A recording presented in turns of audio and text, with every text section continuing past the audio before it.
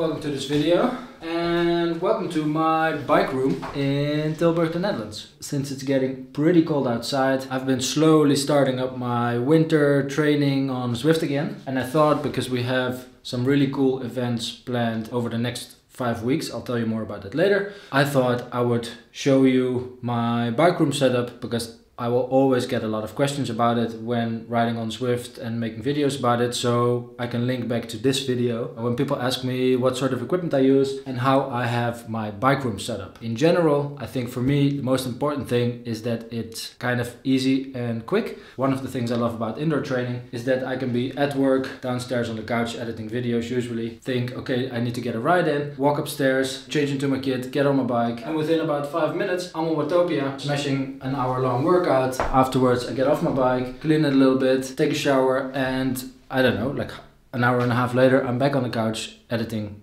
videos. So I think the biggest benefit of my setup in that terms is the fact that I have a whole room dedicated to my bike stuff, which means I don't have to move the trainer anywhere if I'm not using it right now. Like if you would have this in the living room, of course you're gonna get rid of it all the time. Bike is always here, it's always ready. I can get up and go. That really helps me to get my daily training rides in because if it's too much hassle, it's much easier to skip. So in general, one of the things I want to take into consideration is that I don't have too much uh, stuff. The only products that I want to use are the products that really help me train. And if there's anything that I sort of don't need. I don't want it in there. I don't want it to clutter up the space. I don't want it because usually it makes the setup a little bit more difficult. So I try to keep it simple. I try to keep it also budget friendly. There's a few things in here that are just a pure luxury. But in general, I don't think you need like a super expensive setup to get some proper training done or some proper fun rides done in Zwift over, over the winter time. So, first of all, when I created the whole setup in this room, the main thing I took into consideration is the window. Which, if I open it, allows all the cold winter air to go inside and this big ass fan helps put all that cold air onto me when I'm on my bike smashing said workout. It's gonna get hot and if you get hot you're gonna want to get the maximum cooling effect and this, uh, this really helps. Another thing that I put in here but that you cannot see is a Wi-Fi extender. It's in the room next door, my bedroom. And I think for Zwift it's kind of key to get a proper connection. So if you can do something to improve the connection you get to your Wi-Fi, it's recommended.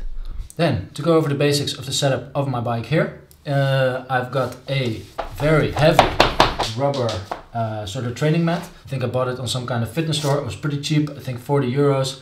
It's very thick and heavy, so it protects my floor. It uh, saves the neighbors from a lot of noise and it collects my sweat so the room doesn't look as messy as it would if all of my sweat was going on the actual floor.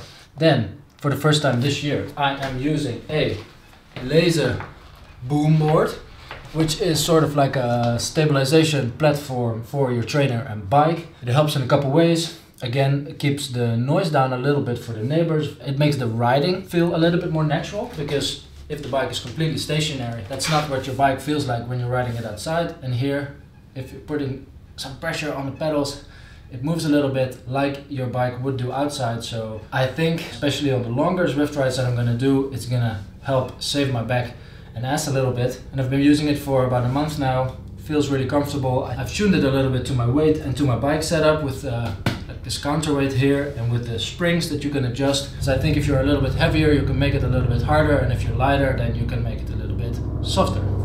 And maybe the best thing about this is that it's made from 100% recycled materials. So even for sustainability freaks, it's a good product to use. It's definitely one of the more sort of luxurious things. Absolutely, you don't need one of these in order to get started on Zwift. But if you're gonna do a little bit longer rides and if you're gonna spend a lot of hours on the trainer, I think this is one of the luxuries that you might want to invest a little bit in. From the same company, Leeze, I also have this Boom Desk. It's really nice to get your laptop, drinks, remotes, phone, coffee really close to your handlebars. Because when you're riding, you want to be able to use the controls, get your drinks, do whatever you have to do. And therefore getting some sort of platform that is movable. This one is completely height adjustable. It can go up to sort of here. It can also go down to sort of here. So you can adjust it so that it works perfectly for you. And it's quite spacious. So I've got all of the stuff on here right now. If I want to use my phone for something, I can just put it in here and it stays in there. You can have an iPad in there as well. I always enjoy kind of watching something on YouTube when I'm riding and I have my Zwift screen on my laptop and whatever I'm watching or whatever messages I'm sending, doing it on my phone. Oh, and the trainer that I'm using is the Wahoo Kickr Core. I've had it for about four years now. Still works perfectly fine. You can go for the more expensive Kickr Power, I think it's called. But to be honest, with my type of power, I don't feel like I need it. Erg mode works perfectly fine. It can make the resistance high enough for all of the climbs that are in Zwift. So I feel like this more basic model is definitely good enough for me. I do always recommend to get a direct drive trainer. So that's a trainer with a cassette on it where you remove your rear wheel and replace it with the trainer just because it's so much more accurate. You have a power meter in there. The workouts are going to be a lot easier to do in erg mode. Getting a basic model direct drive trainer is what I would recommend most people to do. There's a few accessories that I love using and that I think are very important. Definitely the most important one is a fan. If you don't have a fan, you're not gonna have a good time riding indoors. I would recommend to get the biggest one you can find. This is a very sort of simple one, but I've improved it very much by getting a very cheap uh, 6 euro sort of remote control from uh, AliExpress. It sits in between the socket and the power plug of the fan. And if I press on, it turns on if I press off, turns off. So if there's like an easier part of the workout, I can turn it off and I don't have to turn it on before I start because then I'm already really cold as soon as the hard part of a workout starts. Brilliant. Another thing that I can highly recommend in uh, daily life but also on Zwift is AirPods Pro. It's not sponsored. it allows you to listen to whatever motivates you during your workout and it blocks out the noise of the fan and the trainer if there's any of that. So yeah, it's just the best way probably to listen to music without cranking it up super loud and annoying the neighbors with it as well. I uh, I think that's already it kind of. I thought I would mention a couple of things that I've tried over the last years that didn't work for me.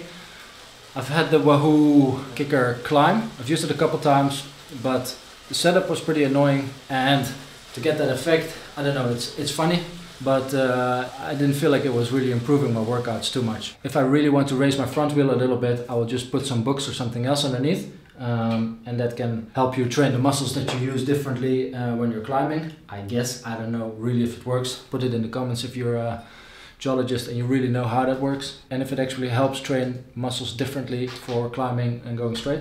And another thing that I tried was a elite steering block that you would put underneath your front wheel so that you could steer and then in Zwift you would also actually steer. Also I felt a little bit gimmicky. Zwift doesn't really use that yet in any sort of training or uh, racing situation so I also sold that after a couple times.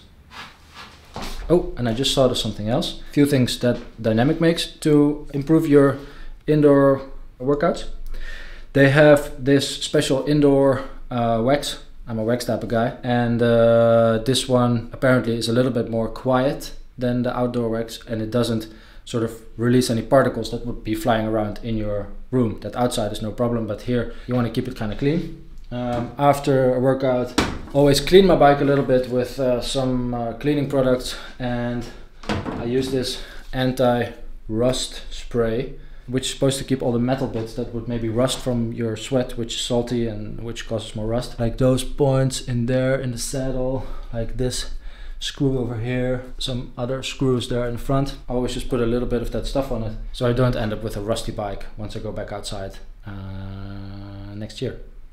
And I think that's kind of it in terms of my setup. There's nothing really special about it, but you know, the fact that it's so simple, it really works for me. If you have any suggestions of how I can improve this without making it more complicated, I'm definitely open for that. Uh, so drop them in the comments. And more importantly, I want to invite you to our five week Ride Beyond Crew Zwift Advent series of challenges that we're hosting over the next five weeks right up until Christmas. Mike is going to start the first one this Sunday, which is the day that this video is released. So um, if you've watched this video, go and check out our Zwift club. It's called Ride Beyond Crew. What else? Uh, I'll put a link to it in the description.